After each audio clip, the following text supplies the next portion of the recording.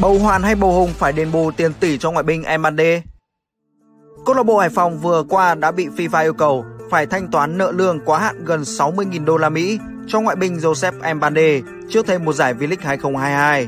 Cụ thể, FIFA và VFF phát hiện khoản nợ 56.500 đô la Mỹ chưa được câu lạc bộ Hải Phòng thanh toán cho tiền đạo Joseph Mbande. Vào đầu tháng 3 năm 2021, cầu thủ người Uganda không thể sang Việt Nam để tham dự V-League 2021 do không có chuyến bay. Cầu thủ sinh năm 1993 vẫn còn hợp đồng với đội bóng đất cảng tới cuối năm 2021.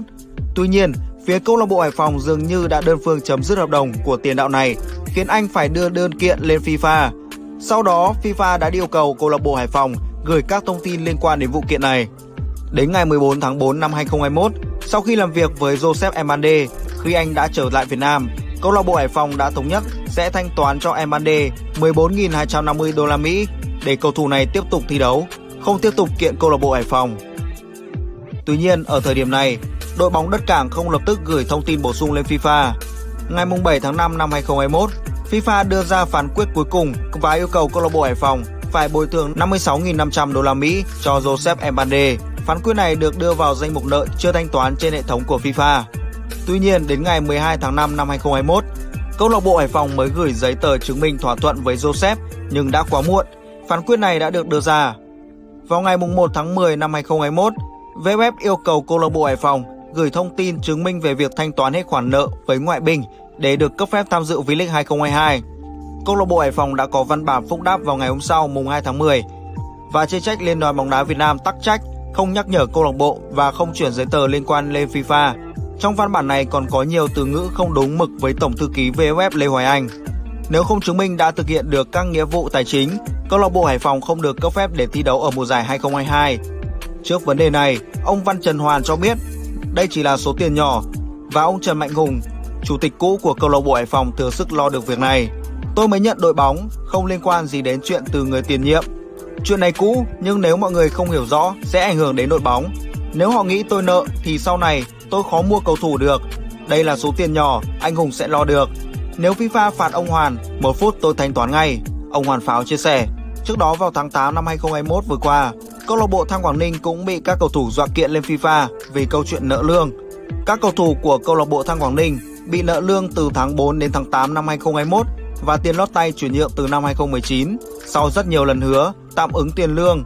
Viết tâm thư, nhưng đến bây giờ các cầu thủ cho biết nếu đến ngày 31 tháng 8 các khoản nợ trên không được giải quyết, họ sẽ thuê luật sư và kiện câu lạc bộ Thăng Quảng Ninh, đồng thời gửi giấy tờ liên quan đến ban kỷ luật VFF, AFC và nếu cần là cả FIFA. Đứng trước nguy cơ giải thể đội bóng, các cầu thủ phải thanh lý hợp đồng và tìm bến đỗ mới. Tuy nhiên, để có thể đến đội bóng mới, họ phải cam kết giữ im lặng Khoản nợ lương thưởng, lót tay của các cầu thủ được lãnh đạo đội bóng hứa sẽ thanh toán đầy đủ trước khi chuyển giao câu lạc bộ lại cho tỉnh. Công ty trách nhiệm hữu hạn một thành viên bóng đá Quảng Ninh tuyên bố dừng hoạt động từ ngày 25 tháng 8 để không phải tiếp tục trả lương, đóng bảo hiểm cho cầu thủ. Đó cũng là ngày đội bóng tiến hành thủ tục thanh lý hợp đồng cho một số cầu thủ có nguyện vọng ra đi. Nhiều người không chịu được cảnh nợ lương, buộc phải khép lại ân tình với câu lạc bộ để tìm bến đỗ mới. Với việc cam kết không kiện đội bóng, các cầu thủ không còn nhiều hy vọng nhận lại số tiền bị nợ. Câu chuyện của câu lạc bộ Hải Phòng có nét tương tự giống với bầu đệ và bầu đoan của câu lạc bộ Thanh Hóa trước đây. Cụ thể vào ngày 3 tháng 2 năm 2021, huấn luyện viên Fabio Lopez tuyên bố ông đã thắng kiện, đồng thời yêu cầu câu lạc bộ Thanh Hóa bồi thường những chi phí liên quan đến hợp đồng cũ.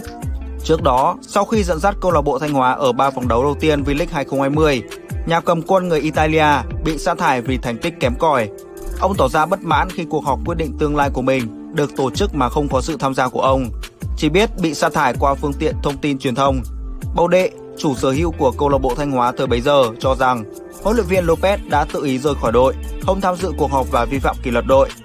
Bức xúc với cách sa thải của câu lạc bộ Thanh Hóa, huấn luyện viên Lopez đã kiện lên FIFA.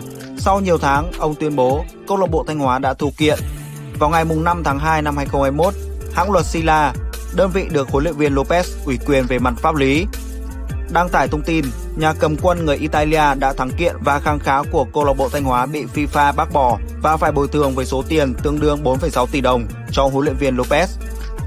Sau nhiều lần làm việc, các bên đã có phương án giải quyết, câu lạc bộ Thanh Hóa vẫn tham dự V-League 2021. Một câu chuyện khác xa hơn về trước, vào những năm đầu của thế kỷ 21, Liên đoàn bóng đá Việt Nam cũng từng bị thu kiện bởi huấn luyện viên Leta. vì thiếu hiểu biết và thờ ơ trong chuyện bị kiện tụng. Ngay sau khi bị sa thải vào tháng 8 năm 2002, huấn luyện viên Leta đã khởi kiện Liên đoàn bóng đá Việt Nam lên Ủy ban tư cách kỷ luật của FIFA và bị xử thua. Theo phán quyết hồi đó, Liên đoàn bóng đá Việt Nam chỉ phải đền bù 3 tháng lương và phụ phí khoảng 35.000 đô la Mỹ. Được đích thân cựu huấn luyện viên trưởng đội tuyển Pháp Ahmed Jacquet giới thiệu sang Việt Nam. Nhưng huấn luyện viên Leta bị coi là huấn luyện viên ngoại tệ nhất trong lịch sử bóng đá Việt Nam. Chuyện sa thải trái đáng Leta khi đó nhận được sự ủng hộ của cả giới chuyên môn và công luận, cho rằng không thể bị kiện lại. Liên đoàn tự tin đến mức tự động gửi 35.000 đô la Mỹ tiền đền bù vào tài khoản của luật sư của ông Leta. Liên đoàn cũng chẳng quan tâm vị huấn luyện viên trưởng người Pháp có đồng ý hay không. Nhưng rồi ông Leta tiếp tục kiện lên tòa án trọng tài thể thao quốc tế. Biết thông tin này, Liên đoàn bóng đá Việt Nam cũng chẳng gửi bất cứ một bản thanh minh, tường trình nào mà mặc kệ ông Leta thoải mái vạch tội. Thế rồi vào giữa tháng 10 năm 2004, VFF đã choáng váng khi nhận phán quyết từ tòa án này, yêu cầu Liên đoàn bóng đá Việt Nam phải đền bù 197.800 đô la Mỹ cho ông Leta vì đơn phương phá vỡ hợp đồng với lý do không chính đáng. Sự thờ ơ của Liên đoàn bóng đá Việt Nam còn thể hiện rõ khi không biết rằng tòa án trọng tài thể thao quốc tế còn có thẩm quyền xét xử vụ kiện. Theo người phát ngôn của VFF, liên đoàn chỉ biết Ủy ban tư cách kỷ luật của FIFA sẽ xử lý những vụ việc kiểu như thế này mà thôi, chứ còn cái tòa án kia thì chẳng hiểu vì sao lại có quyền đó.